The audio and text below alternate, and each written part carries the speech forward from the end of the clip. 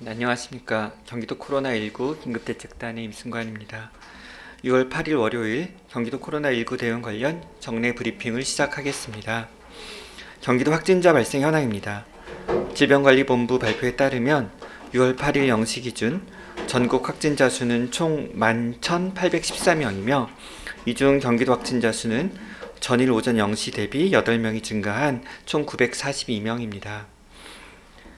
인구 100만 명당 확진자 발생 수는 68.6명으로 전국 17개 시도 중 여섯 번째이며 시군별로는 성남시 140명, 부천시 132명, 용인시 87명 순으로 도내 29개 시군에서 확진자가 발생하였습니다.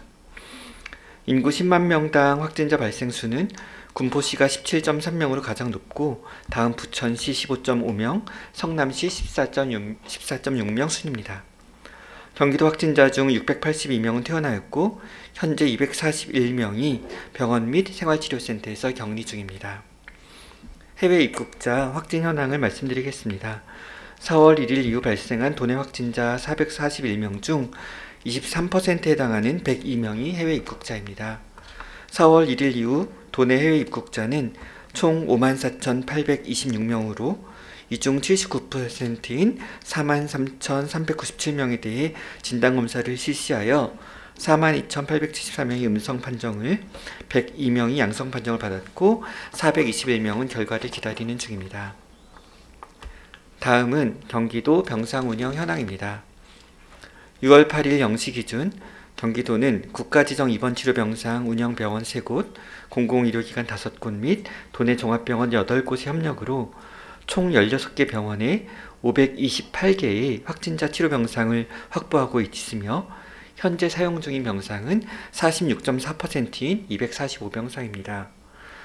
경기도는 전국에서 유일하게 민간 협력형 코로나19 진료 네트워크를 운영 중이며 긴급 대책단을 중심으로 상시적으로 정보를 공유하고 다양한 의견을 수렴합니다. 공공 부분이 먼저 헌신하고 있으며 특히 유행이 소강, 상태일 때는 당연히 그렇게 운영합니다. 유행이 확산되면 공공의료기관들의 소진을 민간의료기관들이 살피고 돕는 구조를 갖고 있습니다. 현재 운영 중인 236개 치료병상 중 97%에 해당하는 229병상을 공공의료기관이 감당해내고 있습니다. 32명의 회복 환자가 격리 생활 중인 생활치료센터도 경기도 의료원이 책임 운영하고 있습니다.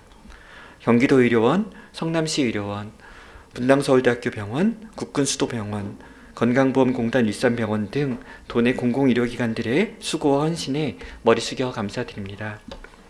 신규 확진자 현황에 대해 말씀드리겠습니다. 금일 도내 발생한 신규 확진자는 총 8명입니다. 교회 관련 2명, 지역사회 감염 5명, 해외 유입 1명입니다. 교회 관련으로는 용인 큰나무 교회가에서 1명, 안양 군포의 목회자 모임 관련 1명 등 2명이 신규 확진 판정을 받았습니다. 지역사회 발생 유형으로는 서울 리치웨이 관련돼서 2명, 양천구 탁구클럽 관련 2명, 광주 행복한 요양원 관련 1명 등 5명이 추가로 확진 판정을 받았습니다. 먼저 용인시 큰나무교회 관련 확진 상황에 대해서 말씀드리겠습니다. 경기 용인시 수지구에 소재한 큰나무교회 관련 도내 확진자는 오늘 0시 기준 1명 추가되어 총 11명으로 늘어났습니다. 확진자 11명은 목사 및 그의 가족 3명, 교인 8명 등입니다. 신규된, 신규 확진자는 안양시 거주자로서 기확진된 동일교회 교인과 접촉을 통해 감염된 것으로 추정하고 있으며 확진자가 베이비시터로 활동하고 있어서 접촉했던 부모와 아이, 어린이집 원장 등 5명에 대해서 진단검사를 실시하였으며 모두 음성 판정을 확인했습니다. 큰나무 교회 관련해서는 35건에 대한 환경검체 검사도 진행이 됐고 모두 음성이 나왔습니다. 즉각 대응팀을 파견하여 감염 경로와 접촉자에 대한 심층 역학조사는 계속 진행 중입니다. 서울시 양천구 목동 탁구클럽 관련 도내 확진 상황입니다. 양천구 목동 탁구클럽 관련 6월 7일 도내에서 2명이 확진 판정을 받았습니다.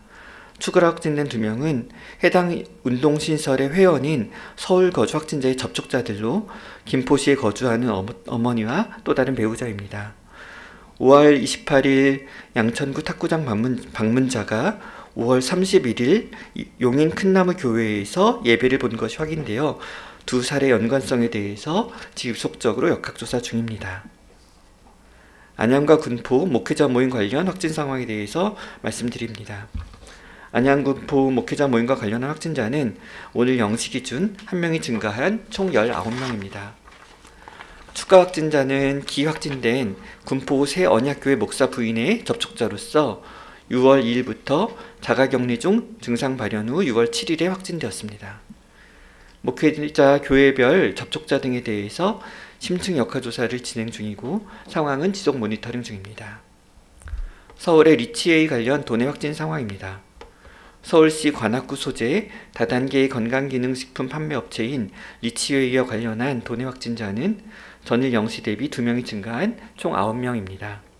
추가 확진자 2명은 5월 25일 리치웨이 방문자 1명과 기확진된 서울과주 확진자의 접촉자로서 확진자가 방문했던 장소를 토대로 환경소독을 실시 추가 접촉자에 대한 심층 역학조사를 역시 진행 중입니다. 광주시 행복한 요양원 확진 상황에 대해 말씀드리겠습니다. 광주 행복한 요양원 관련 확진자는 금일 0시 기준 입소자 중 1명이 추가되어 총 9명으로 늘어났습니다. 요양보호사가 2명, 사회복지사 1명, 입소자 6명입니다. 추가 확진자는 기확진된 요양보호사의 접촉자로 5월 28일과 6월 2일 2회 진행된 검사에서는 음성 판정이었습니다. 경기도는 심층 역학조사를 진행하는 한편 기존 입소자 중 일부를 경기도의료원 포천병원에서 코트 격리 진료 중입니다.